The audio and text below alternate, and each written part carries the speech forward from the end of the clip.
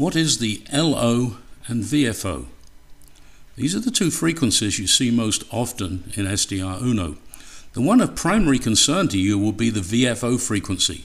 This is the frequency shown in RX control, in this case 14.165 megahertz, and also in the frequency spectrum window, the larger digits at the top of the display.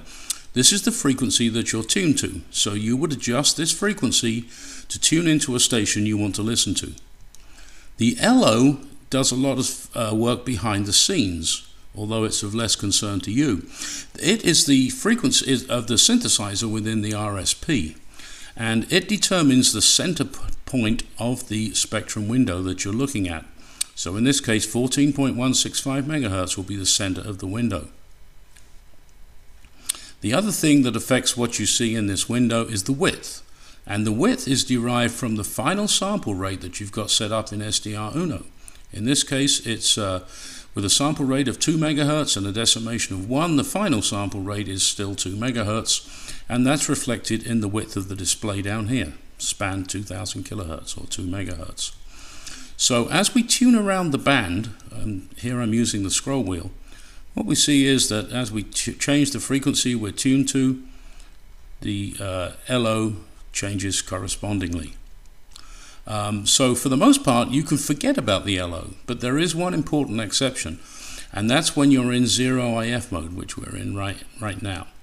And in zero IF mode, you never want to be in this situation where the local oscillator frequency and the VFO frequency match.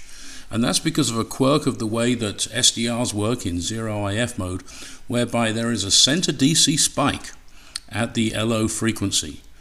So to get around that, what you would do is you would click one side or the other to generate some separation between the LO and the VFO frequency. Again, the frequency we're tuned to here is 13.99 megahertz. The LO is down there on 14.185. Now, the only reason that LO is important at all is it can be illustrated if I change to, say, 7 megahertz. And what's happened is um, the LO has also changed down to 7.195 megahertz, which is just as well because now the, the window we're looking at is centered on 7.195, and so we can see the 7 megahertz frequency we're tuned to.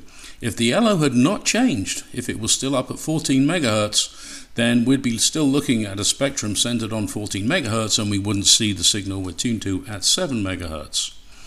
So um, that's basically all there is to it. You don't need to worry about the LOs very much unless you're in zero IF mode. And in fact, on SDRuno 1.4, there is now the ability to automatically generate an offset between the local oscillator frequency and the frequency you're tuned to, and you could specify that to be any number you like. And, and, that means that automatically the software will never allow you to tune to exactly the same frequency as the LO.